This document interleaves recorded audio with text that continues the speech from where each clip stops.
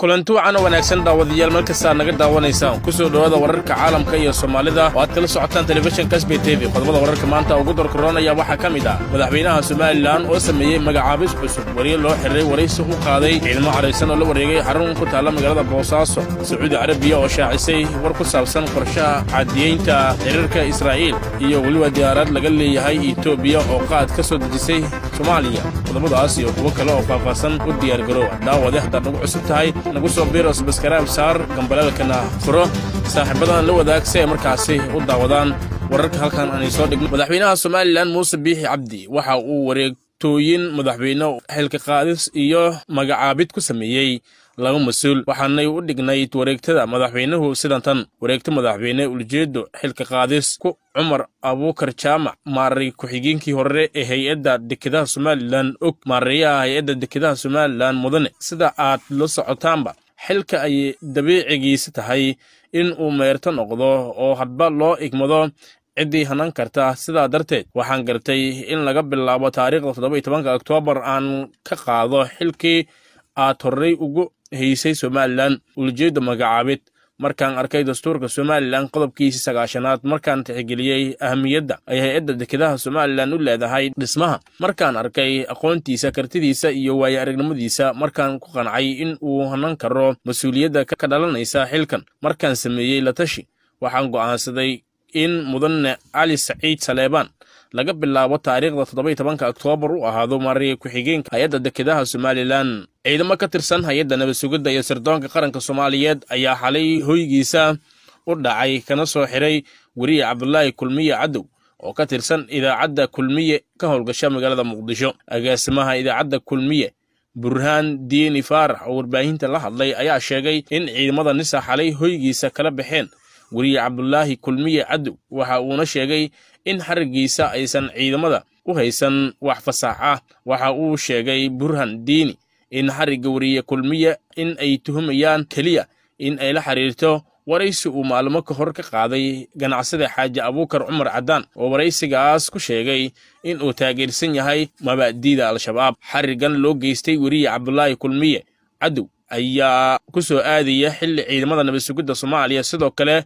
habeen hore xabsiga dhigeen ganacsada abuukar cumar caddaan oo isna loo xiriray waraysiga uu bixiyey. Ciidamo ka tirsan kuwa ammaanka puntland oo caraysan ayaa lagu soo waramayaa in saacadihii la soo dhaafay ay la wareegeen gacan ku-haynta xarun wasaaradeed oo ku taalla magaalada boosaaso ee xarunta gobolka bari. Ciidamadan oo gadood ka sameeyey boosaaso ayaa la wareegay xarunta wasaaradda kalluumaysiga iyo kheyraadka badda ee puntland sida ay xaqiijeen ilo lagu kalsoon yahay. Wararka ayaa sheegaya in ciidamadaas oo wata gaadiidka dagaalka ay ka cabanayaan arrimo la xiriira mushaaraad ka maqan muddo dhowr bilood ah taas oo keentay inay la wareegaan dhismaha wasaaradda sida warbaahinta u sheegeen saraakiil ka tirsan puntland sidoo kale wararka ayaa intaasi ku daraya in ciidamada xarunta ay ku xayireen mas'uuliyiin ay ka mid yihiin wasiir ku-xigeenka wasaaradda kalluumaysiga iyo agaasimaha guud ee wasaaraddaas iyaga oo ku amray in aysan ka bixi karin halkaasi. Ilaa iyo hadda ma jiro weli wax hadal ah oo ka soo baxay madaxda puntland oo ku aadan xiisadaasi ka taagan bartamaha magaalada boosaaso ee xarunta ganacsiga maamulka puntland. Xaaladda ayaa haatan kacsan waxaana lagu soo waramayaa in ciidamada ay xidheen dhammaan waddooyinka soo gala iyo kuwa ka baxa xarunta wasaaradda kalluumaysiga iyo kheyraadka badda ee dowlad goboleedka soomaaliyeed ee puntland. Si kastaba ma ahan markii ugu horreysay oo ay ciidamada gadoosan oo ka tirsan kuwa puntland ay la wareegaan xarun wasaaradeed oo uu leeyahay maamulkaasi. Diyaarad la sheegay inay qaad ka keentay etoobiya ayaa maanta soo cagadhigatay garoonka diyaaradaha aadan cadde ee magaalada muqdisho. Waa markii ugu horreysay oo tan iyo markii u bilowday cudurka covid nneteen ay soomaaliya soo cagadhigato. Diyaarad qaadsida iyadoo horey garoommada soomaaliya looga mamnuucay in diyaarado qaadsida aysan ka soo degi karin magaalada muqdisho iyo soomaaliya.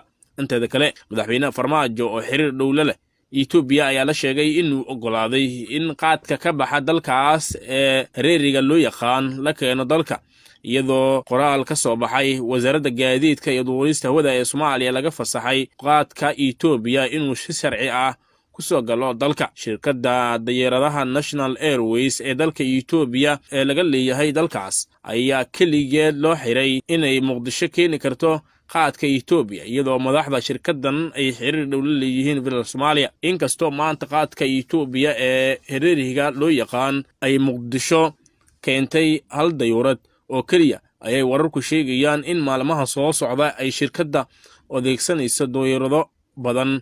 Ay kordhin doonto shixnadaha qaadka ee dalka soo geliso. Dowladda soomaaliya ayaa qaadkii ka imaan jiray kenya joojisay toddoba bilood ka hor cudurka covid nneteen owgis balse dhowaan markii duulimaayadii soomaaliya dib loo bilaabay dowladda federaalk ayaa ka gaabsatay inay fasaxdo dadka qaadka kenya xurguf siyaasadeed ee labada dhinac ka dhexaysa awgeed sababo la xiriira murunka dhinaca xadka badda ah ee u dhexeeya ee dacwadiisu ay taallo. Maxkamadda caalamiga i c g golaha wasiirada soomaaliya ayaa laba bilood ka hor si aan shaac ahayn u fasaxay qaadka kenya. Hase yeehatee madaxweyne farmaajo ayaa joojiyey tallaabadaas iyadoo kenya ay weli dadaal xoog leh ku bixinayso sidii mar kale ay qaadka u keeni lahayd suuqa ugu weyn ee qaadkeeda loo iibgeeyo ah ee soomaaliya. Maraykanka ayaa sheegay in ku dhowaa saddex boqol oo milyan oo dollar ay ku bixiyeen sanadkan u gargaarka dadka dhibaataysan ee soomaaliya. Deeqdan oo la soo mariyey hay'adda yusid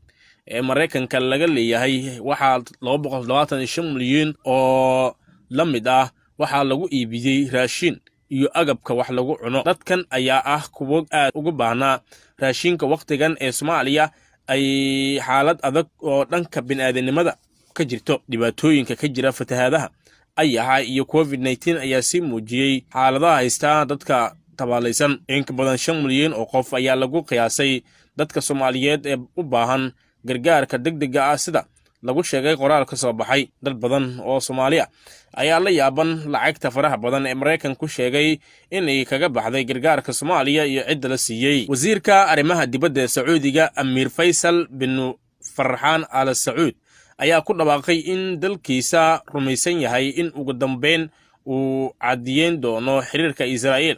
Waxaa sidaas wariyey machadka washington ee daraasaadka siyaasadda bariga dhexe kulan uu machadka qaab online ah kula yeeshay ayuu amiir faysal ku yidhi waxaan rumaysannahay in hadda loo baahan yahay in dhiiradda la saaro in falastiiniyiinta iyo israa'iiliyiinta lagu soo celiyo miiska wadahadalka. Ugu dambayntii waxaa keliya ee horseedi kara nabad iyo xasiloonni waarta waa heshiiska dhex mara falastiiniyiinta iyo israa'iil. Waxa uu sheegay in haddii aan taas lagu guulaysan mar walba uu jiri doono dhaawac ku yaalla gobolka ayna ka go'on tahay hannaanka nabadda. Amiirka oo hadalkiisa sii wata ayaa yidhi sidaas darteed waxaan mar waliba odorarsanaynaa inay dhici doonto xiriirka israa'iil oo aan caadi ka dhigno.